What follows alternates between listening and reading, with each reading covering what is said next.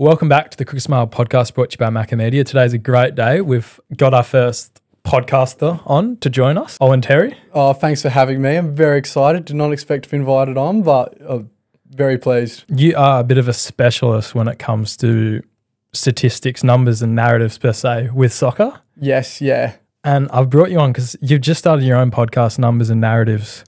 We'll leave a link in the description talking about the Euros and what's going on with the Euros right now and some of the hidden statistics behind some of the games. And it's actually really interesting. I really enjoy it. Yeah, I'm glad you enjoy it. I think sometimes when it's uh, people hear numbers, they might not think it's really interesting, but I I think it's like just getting evidence to back up some thoughts or theories that I might have, and uh, I hope people find it a bit interesting and learn a thing or two. So right now, the Euros at the time of recording this, the knockout stages are going to begin in the next couple of days. Yep. And so far, what have you thought of the Euros? I think it's been great. We've got a lot of stoppage time goals, um, which has met, led to a lot of late drama. Um, one thing that I found really interesting, going into the numbers a little bit, is that I'd heard before the tournament started that the market value of teams uh, doesn't really dictate who's going to win the game. Whereas in club football, if your team's worth more money, the players worth more money, they're a lot more likely to win. And so we've got teams like Romania, who's worth 92 million, which sounds like a lot of money. I'd like to have that. Versus the squad of Belgium, though, who had who were 584 million, and Romania actually topped a group with Belgium. And then you've got Croatia, who were worth 330 million, and they didn't even get it out of the group stages. So it's been really interesting to see that some some nations that are the quality of the players don't seem as strong as potentially other other teams, but they've still managed to find a way to to get over the top and get past them. Do you think that's because all the players are all playing in their country, so they're used to playing with each other a bit more? They've got a bit more chemistry. I think that's definitely part of it. That there's probably a lot more cohesiveness with those um, smaller teams. That they're they're probably less spread out throughout the whole world, rather than all playing in the top five leagues. Some players in France, some players in Germany, some players in Spain everyone from Romania probably plays in the Romanian league, and with Andrew Tate. yeah, they might sub him on when they need a goal. Well, one of the things I found really interesting when listening to, I think it was episode two of your podcast, was talking about how winning doesn't guarantee international titles. And for example, Portugal in 2016 in regulation time of the matches was one and seven, but won the Euros. Yeah, that's right. Yeah. So what's going on there?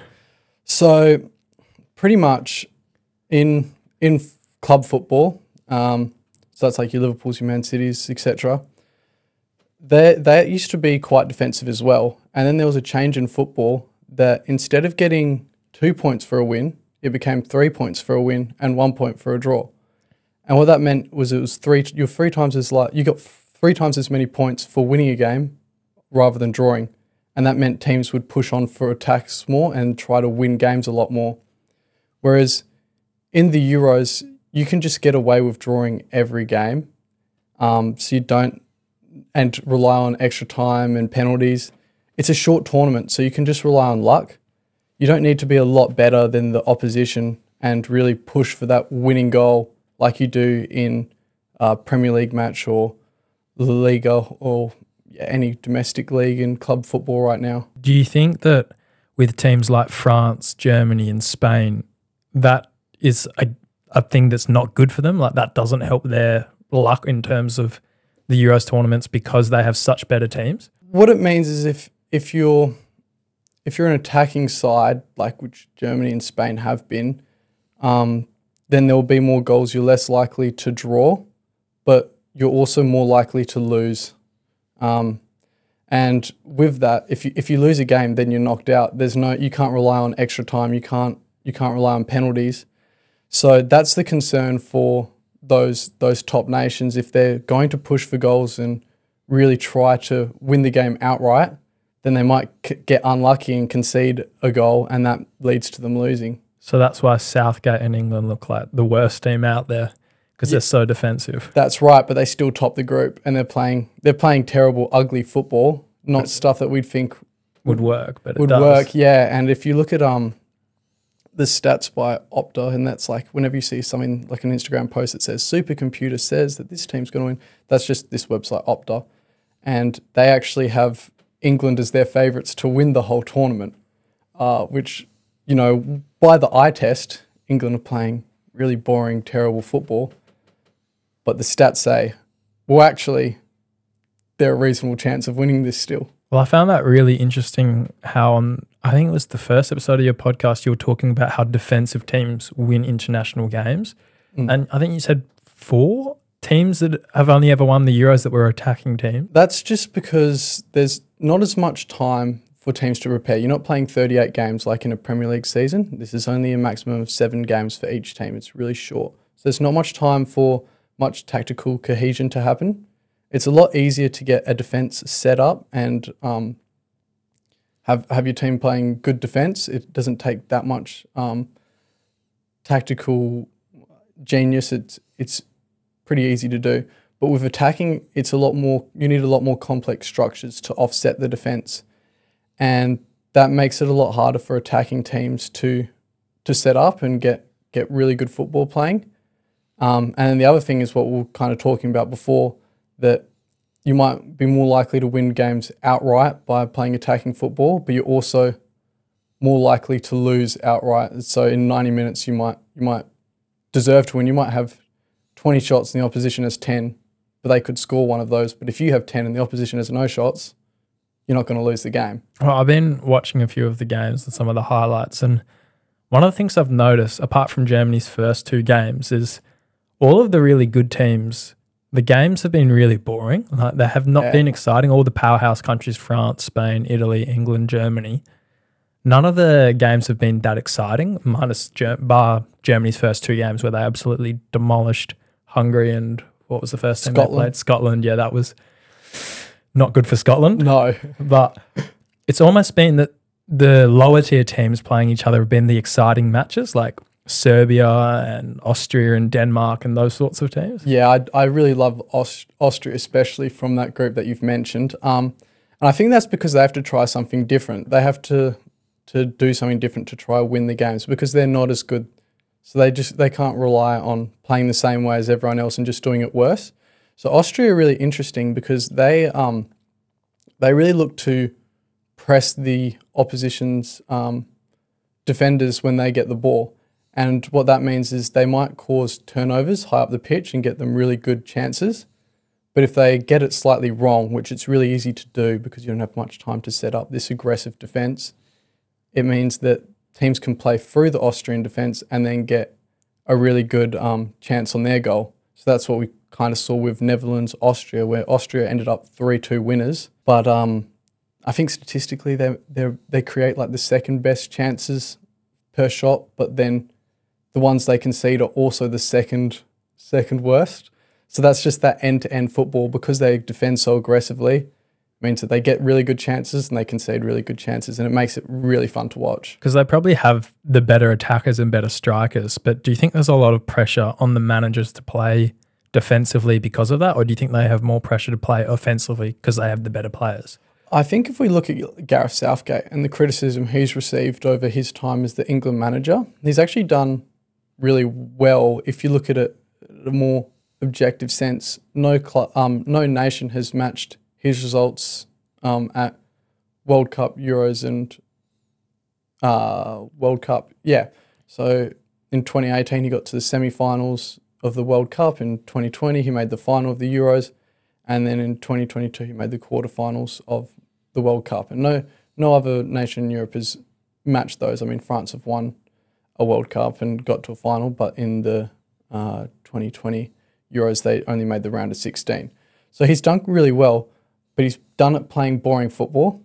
And then the fans say, We've got all this attacking quality. Why don't we play more interesting football? And why don't we play more fun, exciting, attacking football and get the best out of all of these players? Which might not lead to more success, but that's what the fans think will. And it's also what they want to see. So I think that there is a bit more pressure on the top um, managers to, to play more attacking football. But at the end of the day, results decide whether you keep your job or not. With the Euros this year, do you reckon there's any dark horses? Like, was it Iceland a few years ago that went really far into an international tournament where the coach was like a dentist or something? Yeah, it was it was a bit crazy with Iceland. I remember reading up on them um, in the 2016 Euros, and it was like, oh well, they'd just be happy that they got out of the group, and that's that's all. Sorry, that they got to the Euros. They're not going to do anything. You know, if they got third place in their group, well done. Um, and then it turned out they actually got out of the group stages, and they played England, and they beat England two one, which was pretty crazy. And it wasn't just that the manager it was a lot of the players. The player was, I think, the goalkeeper was like a cameraman or something like that. Uh, there was there was a lot of crazy figs going on of that Iceland team. Um, in terms of this Euros, it's a bit it's a bit hard to say. We've got a few teams go through that it's a bit unexpected, like Georgia, um, Slovenia. I think has only got a population population of 2.2 million, and they've got through. Romania, so there's a lot of them. I think Austria, the most exciting team, um, they're perhaps more of a dark horse. I think they're probably the most likely to make a real, real run at it, um, just because they play a different style of football that other teams aren't used to in international football. Well, there's one group that has, I think it's Romania, Netherlands, Georgia, and there's a fourth team in that group. Is this the group where they all finished on four points? Uh no, for the knockouts, like they're in this Oh, round right. of sixteen, right, round yeah, of sixteen, there's, and there's no apart from Netherlands, who's kind of on the cusp of a higher tier nation. There's no um top tier teams in that path all the way until the semi yes, yeah, yeah. I actually, yeah. So on one side of the draw, I've I got it here. yep. So it's um Romania, Netherlands, Austria, and Turkey. hmm So th- that bracket of four teams will go all the way until the semi final. Yep. So if any of those teams were to make the semi-finals, it'd be considered a dark horse. Yeah, but exactly. it's got to be one of those teams because those four are the teams in that round of 16 bracket. Yeah, yeah. It's it's so interesting. That's how the draw falls. Because if you look at the other side, I'm pretty sure that f- arguably the five best uh, nations in the tournament are all going to face each other before the final. Yeah, so Germany, Spain, France, and Portugal will all play each other by the semi. Yeah, there you go. So it's it's it's a bit of a it's a bit of a crazy tournament, and it makes it more fun that it, you can see that you get to see big big nations play against each other earlier in the tournament, and then you'll see uh, nations you wouldn't expect to go really far have the chance to to potentially win a Euros or at least make a big dent and go really far. Well, what do you think of Ronaldo and Portugal's uh, quest to the Euros redemption path so far? Because they won 2016 by a bit of luck. Yep. Maybe I watched that game. I stayed up for it where they played France, and France just missed open goal after open goal after open goal. Ronaldo gets injured, goes off, and then Portugal scores some miracle goal from some random striker that you've never heard of Yes. before from outside of the box. And you don't hear about him again afterwards. Um, do you think Portugal have a chance of winning again? I definitely do think they have a chance of winning again. Their their squad on paper is really really good, um, And don't even start Cancelo. yeah, yeah, they've they've got a lot of quality. It's it's hard to it's hard to imagine them losing when you just look at the names on paper, but that's not always how it, it turns out. Um, and I mean, they lost to Georgia the other day. They did they did rotate quite a few players, but that's that's just what can happen. You never really know how it's going to go. Um, in terms of Ronaldo specifically at this Euros, he's he's been a bit of a mixed bag because he the main thing he provides at this age is is his goals and contribution to the attack, and he's been a threat the whole Euros. He's had the most shots without a goal. He's gotten into the third most dangerous spots without getting a goal. Um, so he's just been really unlucky. He he normally is a pretty decent finisher at goal, but he is causing a lot of problems. And I think if he can get going, then it's going to make it's going to bring a lot of confidence into the rest of the team, and that's going to uh, help their chances a lot more. After seeing his start, would you to the Euros tournament? Would you start him or would you still bring him off the bench? So at, before the tournament started, I personally thought that Ronaldo should have came off the bench.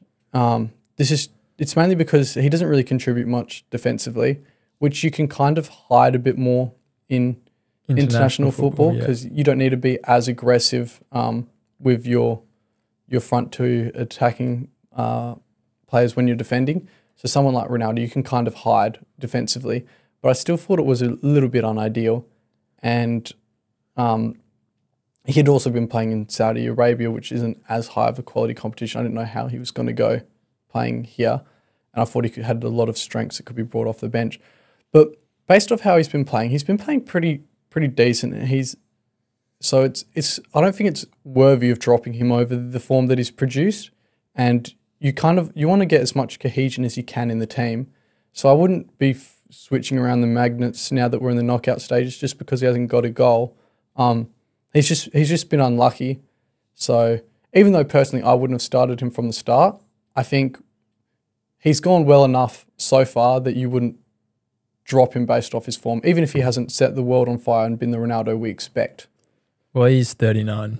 Yeah, he's getting up there. And he's, it's it's a bit crazy that he's still he can still jump five times higher than I ever could, and he's But watching it, it almost looks like his teammates aren't servicing him that much. Like they've almost been told not to pass him the ball sometimes. Like you could see he's like doing the one two touch passes and going in for the run, and then players aren't giving him the service that he normally gets. Yeah, yeah, it can appear that way sometimes um, when things aren't going a player's way. Then maybe the players are thinking that he hasn't scored yet. But I, I think I think that they that he can't. He's always been the guy for every team he's played for That screams for the ball every that time. screams for the ball. Yeah, that he's always got it. And now perhaps it's probably not been as much. You've probably got other players that are around the same quality or better than him, which hasn't been the case before. Whoa.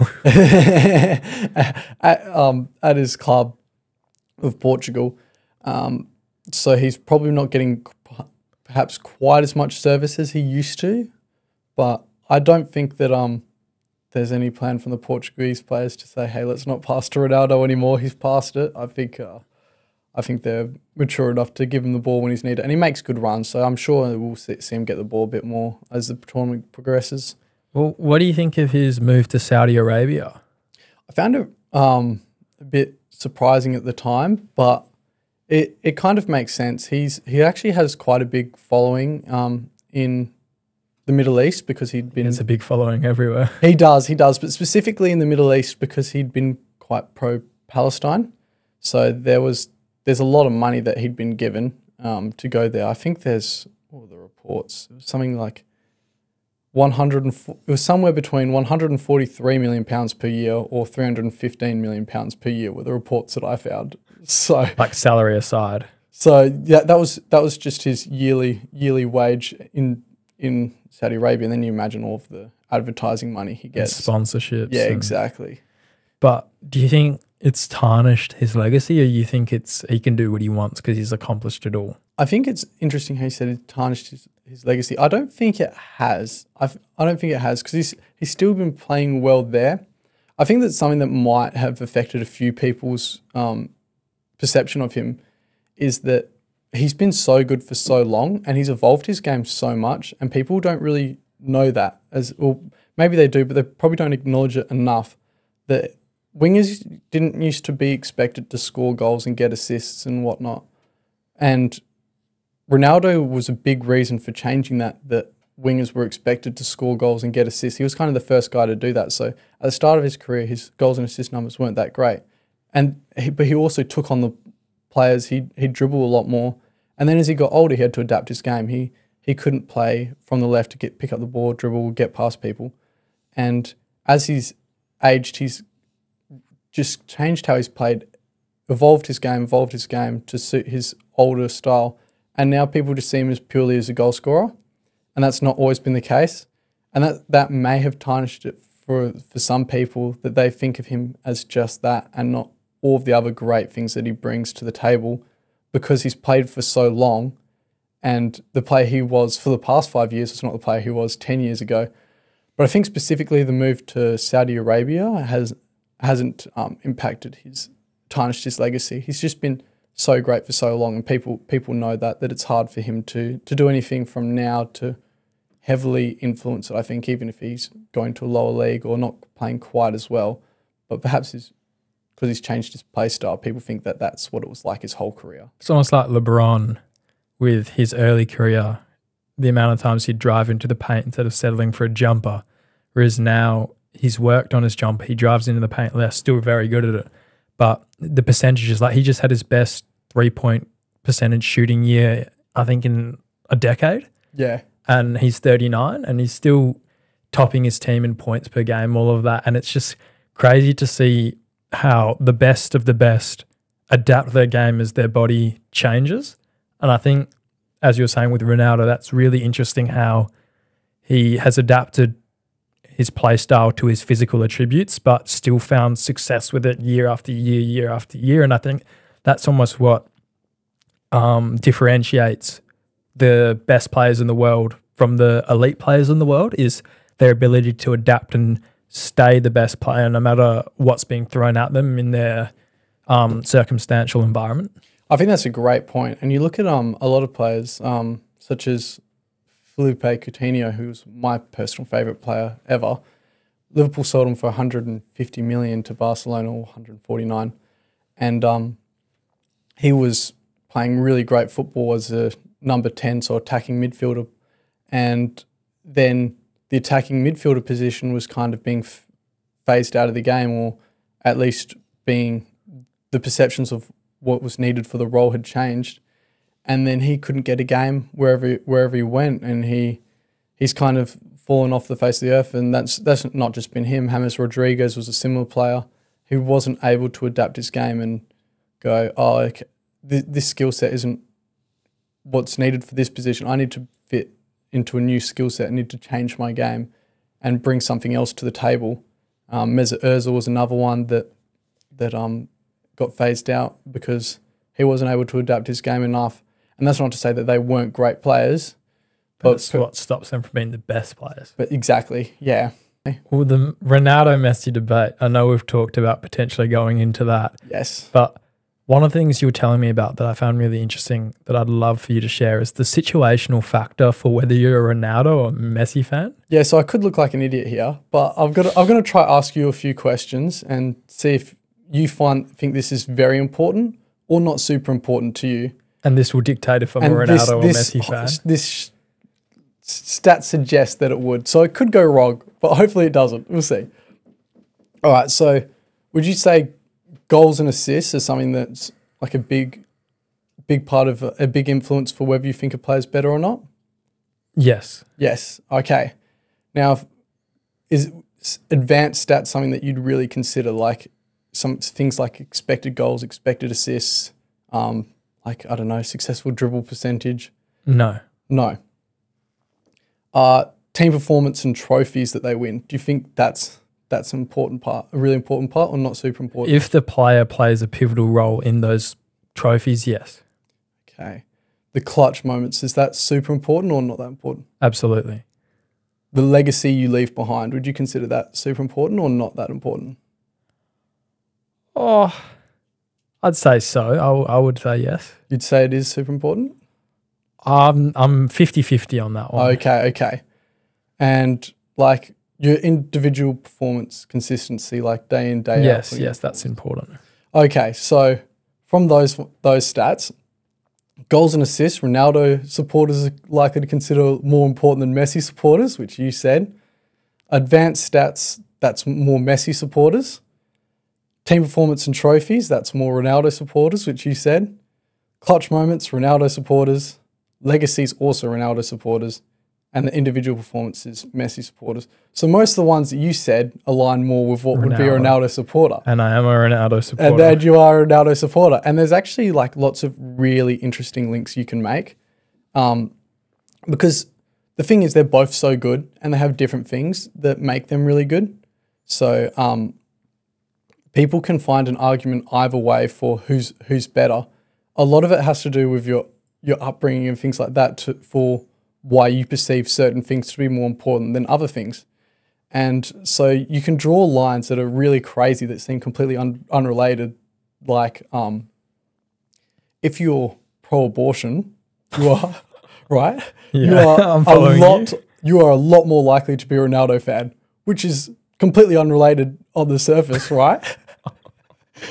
but the thing is, if you're right-winged, you're more likely to be um, pro-abortion, yeah. and the right wing people are a lot more likely to believe in stats such as the goals and assists, clutch moments, and the trophies and legacy to be a lot more important, which align with Ronaldo fans, which is crazy to think that these two unrelated things could make you a lot more likely to go one way or the other. Is pro abortion right wing or left wing? Oh, sorry, I messed that up. anti-abortion, anti-abortion. My Whoa. bad. Anti-abortion. You're more likely to be if you're anti-abortion, you're more likely to be a Ronaldo fan, just because a lot more Ronaldo fans are right-winged. Yeah, okay. But but yeah, that yeah, sorry that. I found interesting. Maybe other people don't just think it's weird. well, another thing I was looking at is what's the best league or tournament in the world considered the most elite top tier tournament to win? Uh, well, I think that's a really interesting question, um, and I think it depends like how you look at it. Because I think the tournament that every player and fan would want to win the most is the World Cup, but I think that that is a tournament that has a lot of luck in it because it's really short. Um, so you could argue that maybe it's a Champions League, but even the Champions League is a shorter format than a domestic league season. Um, so you could you could say it's the World Cup, you could say it's the Champions League, or you could say it's like the Premier League.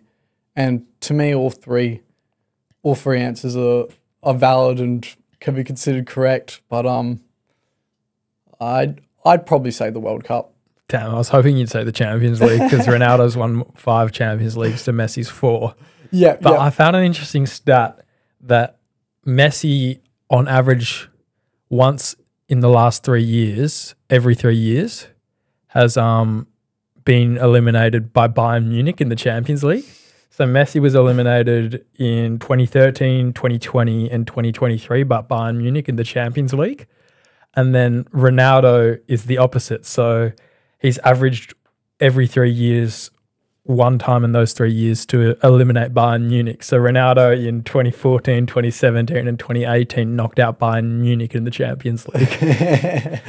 But isn't it, isn't it interesting there that you've in your the stats that you've prepared, what you've acknowledged is the goals, which is what we talk about with Ronaldo supporters, is what they they push to, and the trophies with with the Champions League, and which is also kind of like the big moments, yeah. Uh, and it's it just links so heavily into that that idea. And we we didn't discuss this beforehand, so it's just unrelated that it just happened to be. Another thing you were telling me about before this was Liverpool getting in stats to win games. Yes, So yeah. it's almost it sounded a bit like have you seen the movie Moneyball? It is a bit like that. Yeah, it is a bit like Moneyball. Um, not quite the same extent that they were working on such a small budget. Like um, I forgot what team it was in that movie. I love the movie. Camera boy Rob, can you search up Moneyball team in the NBA? NBA, Oh, in the N- NB MLB. MLB. That's it. They're all acronyms. The Oakland Athletics baseball team. Oakland Athletics. There we go. And actually, interesting. Thank you, camera boy Rob. Sorry. Interesting that you mentioned Major League Baseball because um, the the general manager of the Oakland Athletics, um, Brad Pitt. he was Brad Pitt. he was tried even at the end of the movie. He's tried to be recruited recruited by um, the Boston. Boston. Red Sox, Yeah. And the owner of Boston Red Sox is also the owner of Liverpool, and so they so they they are really into their Silver stats. lining. So there you go. Um, and to to give a bit of a Moneyball perception, it's not the exact, it's nowhere near as much, but still. So the net spend since Klopp arrived, which is about 2015, Klopp's Liverpool was Liverpool's manager. Shout out Julian. He'll love this. He's a Liverpool supporter. So net spend is essentially um, you take all of the players you transferred in and you take away the players you transferred out. So if I bought you for 100 million and I sold Rob for 50 million, See you That later, would- Rob. that would mean my net spend is 50 million, if that makes sense. Yep. Okay. So Liverpool have spent 350 million net spend. Man City 630 million net spend. Criminals. Chelsea 1 billion net spend. Man United 1 billion. Manchester, oh, sorry, Tottenham 570 million net spend. What about the Gunners? Don't have the Gunners on me actually, so maybe they're, they're below. I should have got them. My bad. but but um, it's it's a way smaller budget that Liverpool are working with, and if you include the wage bills of the clubs, the gap only gets larger um, between the amount of money that they're spending. But and even though when Klopp took over, Liverpool finished the season in eighth, so they were not in a good position. They've only Man City have won more trophies since, um, and, there's they're, and they're marks. criminals. So There's question marks over whether they're all legit titles they've won. Um, and then some examples of this. They bought, they, they, they really, what they did with their transfers, they they thought there was an advantage in the statistics that people weren't quite looking into enough. And so they bought players like Sadio Mane for 30 million. And according to Transfermarkt, his value was 150 million in, in 2019. Sal's bought for 35 million, was worth 150 million in 2019. So they really, they really found um, some players that were perhaps being undervalued by these stats models um, that other teams weren't looking at. The rest of football has caught up now uh, quite a bit. That there isn't as much of advantage from stats in that sense. But Liverpool views stats in some really intelligent and clever ways. Um, one way is um, so a bit of backstory for this one was I don't know if this was the exact time when Liverpool decided to start doing this, but it, it seems relevant to bring up. The Liverpool once lost, they won the title next season, a few games into the season, they played Aston Villa, they lost 7 2. Three of these goals were major deflections. So a defender tried to block the shot, it hit hit a leg or whatever, goes into the goal, and there's nothing the keeper could do. Um, the expected scoreline would have, if if both teams were shooting average, it should have been about three one. So Aston Villa got really lucky. But Liverpool, three one to Liverpool. uh, sorry, three one to Aston Villa, but they lost seven two, so it was still quite lucky that Aston Villa scored over twice as many goals. So what Liverpool started to do was block the ball far less than the rest of the competition. So what that meant was the keeper got a uh, far better sight of goal. Sorry, the keeper could see the shot from a lot further out, and there was less deflections where they had enough. There was nothing they could do. So Liverpool were blocking about fifteen percent of shots, and the next highest was about twenty six percent. So Liverpool blocking two to three times less than the rest of the competition. And instinct, intuitively, you'd think, well, that's stupid. Why aren't you blocking the ball? But they found in the stats that they should be blocking the ball less and they'd have more success. And they didn't quite get the title, but they nearly won um, in 21 22, I think it was. They nearly won the, or 22 23, they nearly won the Premier League, Champions League, FA Cup, League Cup. They were one game short of the Champions League, one game short of the Premier League. And a big part of that was that statistical analysis that other teams wouldn't have looked into. And I'm a Liverpool supporter and probably had a bit of an influence on me being so interested in stats. So, yeah, that was that was a couple of things on Liverpool that I found quite interesting with the stats. I hope Bit of a Liverpool fan. A bit of a Liverpool fan. Yeah, my dad um named me after a Liverpool player, Michael Owen, who's not liked by many at all. So I hope I've I've Turned you it know, done, around. done some good for the name. to finish off, you you've started a new podcast, and we briefly mentioned at the start numbers and narratives, where you go into this sort of thing. And to me, I have no idea why you're not doing sports journalism and you're doing accounting when you you're able to talk about all of this and go into this sort of depth of analysis around statistics in football, and you literally have your own podcast talking about it. But what what's going on there? Why why have you decided to start numbers and narratives? I really appreciate that, Kev. So thanks for that. Um, the reason why I think uh, we started numbers and narratives, I think in a lot of media, it's it's about just saying big headlines like, "Oh, this this player didn't win the they they didn't win the game because they didn't want it more," and we want to provide real analysis that you can actually learn learn a thing or two about football, hopefully from. So the idea of the podcast is you you watch it and you listen to it and you come out of it and there's something interesting you can tell your friends or talk about with your friends and you feel more informed and it's not it's not just um, you know an analysis that isn't that isn't really real like you, you get that a lot with American sports It's not just Cam- clickbait for the media Exactly. and trying to get people just to watch, and it's not actual substantial content. You actually have substantial content. and that's what we see with like the Kane Corns and Stephen A. Smith. It's it's good in parts, but I think it's become a bit oversaturated, and the real analysis isn't there quite as much. Um,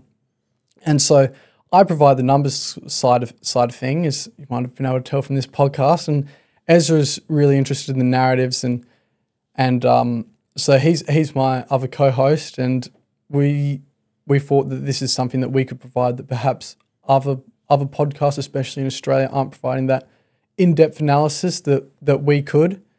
And um, it's for us. It's as long as we get a few people that are willing to listen and find it interesting. Um, we just enjoy hanging out with each other and talking about football. So that's that's the inspiration for numbers and narratives. But if, yeah, if anyone wants to, Yeah, we'll learn a thing definitely leave a link to it in the bio or description of the video. Definitely check it out. I've been listening to it and I personally am a big fan of it. I'd love to hear it. I um told so many people about that defensive thing with the Euros, how only four attacking teams had won the Euros and oh, that, that's just what I would love to hear because you know you, you, and the regulation time thing as well. you come up because I you, I had I thought oh it seems like winning isn't as important as people think, and then you look into it and you find stuff to back you up, and then you you hope that people find that interesting hearing it, and they're they're going to talk to other people. So I'm so glad to Nah, hear that you've I- been passing that information on to I don't know. people. Maybe it's because I really enjoy sports and I enjoyed those sorts of things. But yeah, I found it super interesting. And I'm, I'm wishing you all the best for the future, man. I hope the podcast does really well and I hope it keeps going the way it's going because I'm, you've got a new listener in me. And I hope that a few people today have enjoyed this episode and oh. Go check it out for sure. Thanks so much. I've been loving your podcast as well. Whoa, whoa, whoa. Let's not. All right, yeah, we won't go too far. We won't go too far with it. But yeah, thanks very much for coming on. I really appreciate it and wishing you all the best for the future. Likewise. Thanks for having me.